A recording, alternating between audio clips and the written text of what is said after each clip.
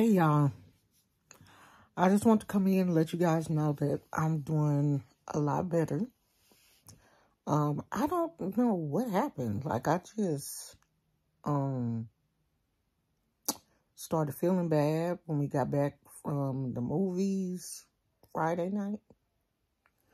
Yeah, and it just went downhill quick. So Friday night I had a fever. The fever was like 101, I think. And then when I got up Saturday morning, it was 103. So I called the advice nurse and I mean, I was just out of it. I was having a hard time just, you know, moving. I was dizzy. And I know all of that was definitely from the fever. Um, I had a rough night. Like I was tossing and turning all night and having really bad dreams and stuff. And I know that was from the fever too. So they said, yeah, you know, why don't you come in and, and let us look at you and stuff. So when I got there, the fever was high. They took me to the back immediately. And they gave me a shot of Tylenol. Because I was telling them that, you know, I was really nauseated. And so they said, okay, well, we're not going to... And my throat was hurting really bad. So they were like, okay, we're not going to try to get you to swallow these pills. We're just going to give it to you in a shot. So they gave me a shot of Tylenol. They gave me some Zofran for the nausea. I mean, I was so nauseated that I used to get car sick. And I was just praying that I didn't um, get car sick. It was so bad. So the Zofran helped immediately. Uh, the Tylenol kicked in and my uh, body aches and stuff, it, you know, felt a lot better. So, of course, they tested me for you know what, and it came back negative, no flu, uh, nothing. What is that other virus? VS something that the, the babies are having. So I didn't test positive for that either. So the doctor said it was it's probably just, you know, a little simple virus and as long as I don't, you know, have a fever or throwing up or anything, I should be okay. So today I do feel, um, I feel better. My stomach is still not where I want it to be. It's still, you know, not good. My appetite is still not good. But I'm going to tell you guys, I had the big C in January, I think. It was either, I think it started in December and it bled over into uh, January. And ever since then, my appetite has not been normal. Like food just don't taste the same. I'm just not really excited about food the way I used to be. And so you know, when I get sick, I'm thinking, okay, is he going to go back to me not wanting to eat anything? And, you know, but the crazy thing is, like, I'm not excited about food. I'm not eating as much as I used to, but I ain't lose no weight.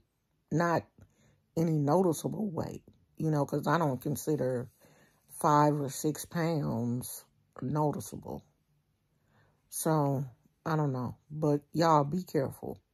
Because whatever this virus is, I have three friends on Facebook who have it.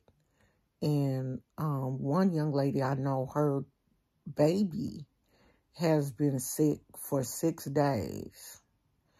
And I guess she called the advice nurse and they were like, okay, well, yeah, this virus is going around. You know, it's nothing we can do here that you can't do at home. But her child is having chills and um, fever and has had a fever for over a week. And I was like, girl, I think it's time for you to take that baby to the hospital. I'm not going to sit around. I don't play with no fever. If I can't get the fever down with, with Tylenol, I'm going to the hospital. That's their job. That's what they're supposed to do. That's what we pay our insurance premiums for. If you can't take care of it at home, you go to the place where people get paid to take care of it. I'm gonna go. That's it. We pay three hundred some dollars a month for insurance. So I'm gonna use it. I'm just really grateful that as soon as I got there and they triaged me, they took me right to the back. So I didn't have to wait. Um, you know, they took me back there and they they took good care of me. The only thing I hate is the discharge. The way they discharge your um medicine is irritating. Like you already don't feel good, and then you got to go to the discharge pharmacy, and there's other people in there, and it was just too much for me to deal with. So I didn't even get the Zofran. I'm gonna go pick it up um, tomorrow from my regular um, pharmacy. I'm gonna just have to have them transfer it out here. But I have my paperwork, so they'll know what it is, and they'll be able to fix it out here because that discharge pharmacy was a mess. And I couldn't deal with that. And it then ain't no place for you to sit. It was on like two chairs in there. And everybody had the chairs. And I'm not doing, I, you know, and I was already tired and weak and stuff. So, um, I left. But I'm just relaxing, you know, trying to drink water. I'm drinking some tea right now because my throat is still just a little teensy weensy bit sore still.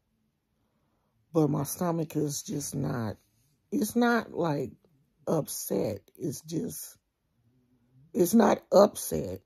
It's just set. You know, it, it just ain't right. So I'm drinking some tea to try to um, help that. My favorite tea right now is lavender and chamomile. Let me show this tea to y'all because it is so good. Child, you know I don't feel good. Look at my hair. I went to the hospital yesterday. Y'all should have seen me. I looked a hot mess. I had my um my afro,